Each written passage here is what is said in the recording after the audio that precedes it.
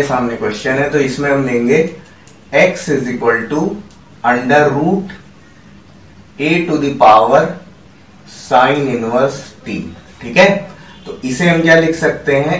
x is equal to a to the power sine inverse t और इस पूरे की पावर हम लिख सकते हैं वन बाई टू ठीक है? अब क्या करेंगे? Now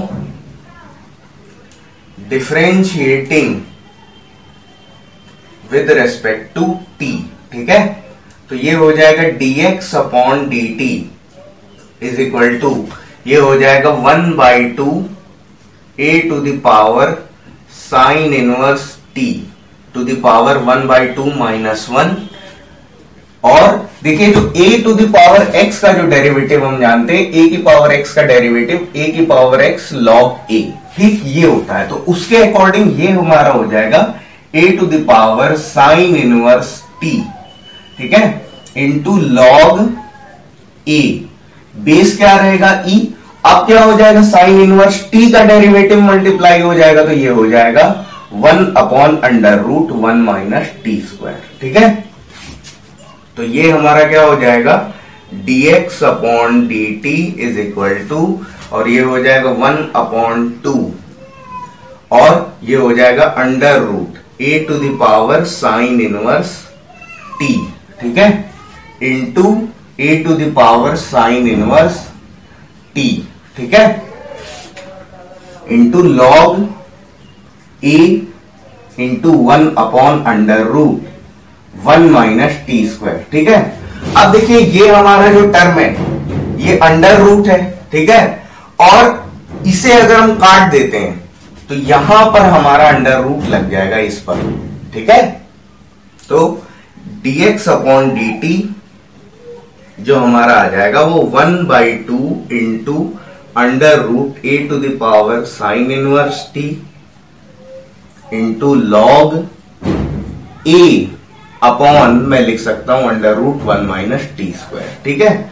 तो ये हमारा आ गया dx अपॉन टी इसे हम मान लेते हैं इक्वेशन वन ठीक है? अब ऐसे ही हम लोग क्या करेंगे? Y के लिए करेंगे तो y इज़ इक्वल टू कितना दे रखा है? Y इज़ इक्वल टू में दे रखा है under root a to the power cos inverse t ठीक है? अब क्या करेंगे? अब इसे हम लिख लेंगे बिल्कुल वैसे ही।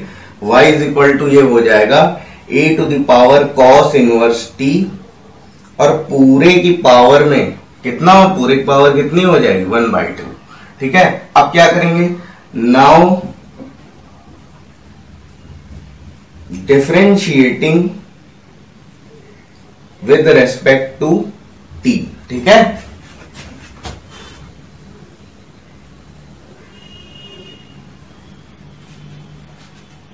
ठीक? तो ये क्या हो जाएगा? D y upon d t और ये हो जाएगा वन बाई टू और a to the power cos inverse t की power one by two minus one into और देखिए ए की पावर एक्स की तरह ये क्या हो जाएगा? ये हो जाएगा ए की पावर कॉस इनवर्स टी ठीक है? इंटू लॉग ए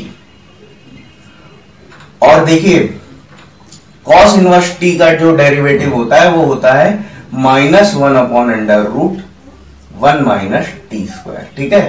तो यहाँ से क्या हो जाएगा? D y upon d t d y upon d t हमारा क्या हो जाएगा? ये हो जाएगा half half a cos inverse t, ठीक?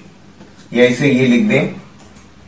One by two into one upon under root में a to the power cos inverse t into a to the power cos inverse t log a